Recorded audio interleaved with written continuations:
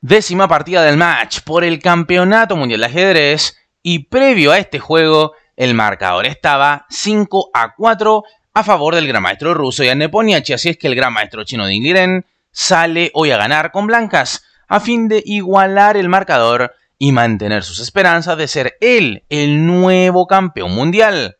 Desde ya, te aviso que la apertura ha sido una locura.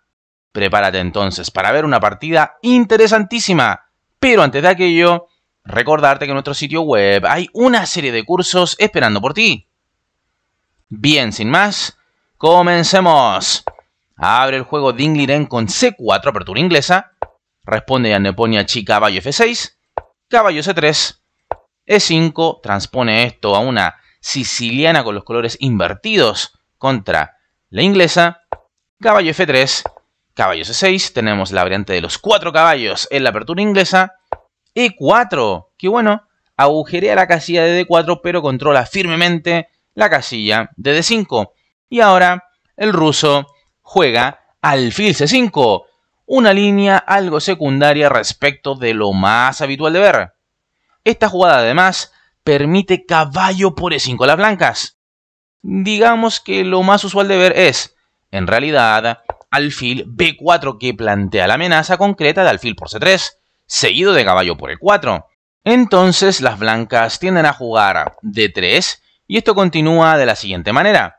D6, A3, alfil C5, B4, alfil B6, alfil E3, con la idea de que tras el intercambio de piezas en E3, la blanca semiabre la columna F, por lo tanto, las negras prefieren jugar en roque y ya con el rey enrocado luego alfil e2 del rival, ahora sí alfil por e3, f por e3, caballo e7, enroque caballo g6, etc. Con juego bien conocido y donde hay variedad de resultados, es decir, tablas, así como triunfos de blancas o de negras. Pero bueno, en la partida no se ha jugado alfil b4 línea principal, sino que alfil c5. Sigue esto con caballo por E5, jugada interesante que es un pseudo sacrificio de pieza y que permite desde ya un juego desnivelado, que es obviamente el objetivo de Ding para llevar el juego a algún tipo de posición caótica, buscando así el triunfo. Sigue esto con caballo por E5, D4, pincho alfil y caballo, que permite la rápida recuperación de la pieza entregada hacia una jugada atrás. Bueno, sigue esto con alfil B4. Nota que alfil de 6 es un error, pues ahora las blancas pueden jugar C5. Por favor, nota que D por E5 sería un error por alfil por E5 y el alfil negro queda en una posición activa. Así es que, si se comete este error de jugar alfil de 6, entonces C5 es el castigo. Seguiría alfil por C5, D por E5 y ahora el caballo se ve obligado a retirarse a G8 con caballo G8 obviamente. Y luego de dama G4 se tocaría en G7.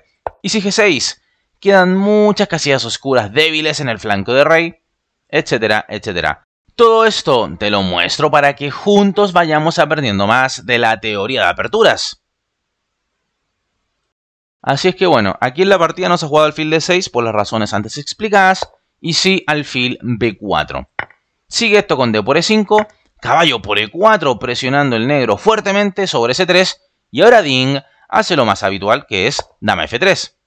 Sigue la partida con caballo por c3, b por c3 y ahora una jugada que sin lugar a dudas ha sorprendido a Ding. Alfil c5 y a partir de acá el chino se pegó una larga pensada, mientras Nepo muy tranquilo se levantó de la mesa y se fue por ahí. Probablemente Ding se esperaba la habitual alfil a5, que es mucho más jugada según las estadísticas, y que mantiene presión sobre el peón de c3. Esto sigue con alfil F4, enroque, enroque, dama E7, rey B2, etc. Y fíjate que ahora las negras tienen idea de jugar torre B8 con idea de B5 a fin de abrir líneas para el ataque sobre el rey blanco, etc. Esto es probablemente para lo que estaba preparado Ding, pero se encuentra con este alfil C5 y nota todo lo que ha pensado. Mira su reloj. Ahora el chino juega Dama G3, jugado luego de más de 10 minutos de reflexión. Una jugada normal, de hecho, que mira en G7 y acá Nepo vuelve a la mesa y juega el toque Rey F8, la mejor jugada en esta posición. Es curioso ya que quien está jugando con blancas es Ding y es él quien debiera estar sacando ventaja de tiempo con su preparación. Pero para su mala fortuna, Nepo conoce esto al dedillo y juega todo sin pensar. Digamos que lo hecho en la partida es lo mejor, ya que otras jugadas son peores. Por ejemplo, G6 agujerea todas las casillas oscuras en el ala de rey y un alfil G5 o alfil H6 ahora las abordaría por completo. Respecto de enroque, esto sería un claro error. Por alfil H6, amenazando mate en G7 y tras G6 única, alfil por F8 y las negras perderían una calidad. Así es que, aunque parezca fea, rey F8 es la mejor jugada y es lo que hace Nepo. Sigue esto con alfil E2, otra jugada hecha luego de muchos minutos de reflexión. Dean ya está con mucho menos tiempo en el reloj respecto de su rival. Acá hay líneas donde las blancas pueden haber optado por jugar en roque largo, pero con este alfil 2 las blancas avisan que se enrocarán en corto. Sigue esto con D6, alfil F4, jugada que habilita el paso a la torre de dama para ubicarse en D1.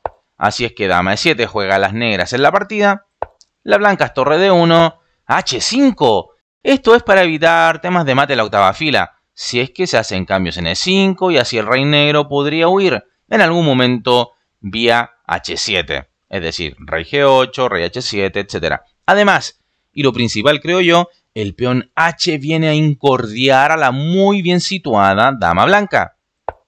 Ok, las blancas entonces siguen consecuentes con su plan, juegan en roque, las negras H4 y dama D3. Acá con negra se podría jugar alfil e6, simplemente maximizando el desarrollo. Pero Nepo demuestra que también quiere poner de su parte para desequilibrar la posición y juega G5. Sigue esto con E por D6, C por D6, alfil por D6, dama por D6, dama por D6 jaque, alfil por D6, torre por D6, alfil E6, F4 buscando quebrar la estructura de peones negra en el ala de rey y a su vez abriendo la columna F para la torre de F1. Además, si se abre la columna F, fíjate que está siempre la amenaza de torre por E6 y el peón de F7 no podría capturar esa torre porque está clavado por la torre de F1, o más bien estaría porque aún no se abre esto. ¿Qué es lo que juega ahora Nepo? Rey E7, tocando a la torre. Sigue la partida con torre D4, G por F4, torre F por F4, H3, G4, intentando debilitar a ese peón H y buscando cazarlo en algún momento. Sigue la partida con torre AC8, rey F2, torre C5. Una pieza muy activa que quiere ir a A5 para presionar al peón A del rival. Sigue la partida con A4, torre A5, alfil D1, B6, rey G3, torre H6, torre F E4, rey F8, torre D8 jaque, rey G7, torre A8, torre C5 entregando el peón A7 pero atacando al peón C4. Sigue la partida con torre por A7, alfil por C4, torre a E7, torre HC6 mirando vía rayos X al peón de C3. Sigue esto con torre 7 E5, torre por E5, torre por E5, alfil B3. Bueno, esto solo busca simplificar la posición y Nepo lo hace porque las tablas le sirven bastante. Sigue esto con alfil por b3, torre por c3 jaque, rey h4, torre por b3, las negras recuperan la pieza, torre b5, torre a3. Por favor, espero no hayas pensado en jugar torre por b5, una jugada tremendamente mala debido a a por b5, luego caerá el peón de h3 y con ello las blancas ganarían fácilmente la partida y las negras exclamarían bueno, tú ya sabes qué. Así pues, volvamos a la partida, donde se ha jugado el correcto torre a3, sigue esto con torre por b6, torre por a4, rey por h3. Final de torres con peón de menos para las negras, pero como la torre negra está en activa, las chances de empate son muy altas. Bueno, esto sigue con f5, bonita entrega de peón, y ahora g por f5. Si g5, entonces torre g4, y el rey blanco queda absolutamente cortado y encerrado en la columna H. Así es que la blanca juega en G por F5. Sigue esto con torre F4, torre B5, rey F6, rey G3, torre por F5, torre por F5 jaque, rey por F5. Y ahora el peón H no puede decidir la partida. Sigue esto con H4, rey G6. Y como las blancas no pueden forzar el triunfo porque el rey negro siempre tendrá la casilla H8 para esconderse e impedir la coronación, Din juega H5 jaque, te entrego el peón. Nepo entonces responde, obviamente, con rey por H5. Y así entonces la partida queda en tablas. Una partida en la que realmente muchos pensamos que podría haber salseo, diableo y todos los EO que te puedas imaginar, pero que Nepo supo secar muy bien. Así entonces el marcador está 5 y medio, 4 y medio a favor del ruso a falta de 4 partidas. Dean tendrá que apretar mucho más si quiere nivelar el marcador y soñar así entonces con ser campeón del mundo. Bueno, ¿qué te ha parecido la partida? Deja tu opinión en la bandeja de comentarios.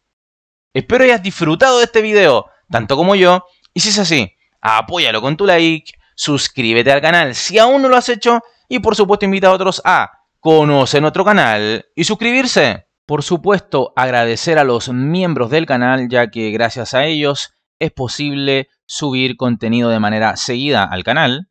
Y como siempre me despido enviándote un fuerte caluroso abrazo. Nos estamos viendo en el siguiente video. Hasta luego.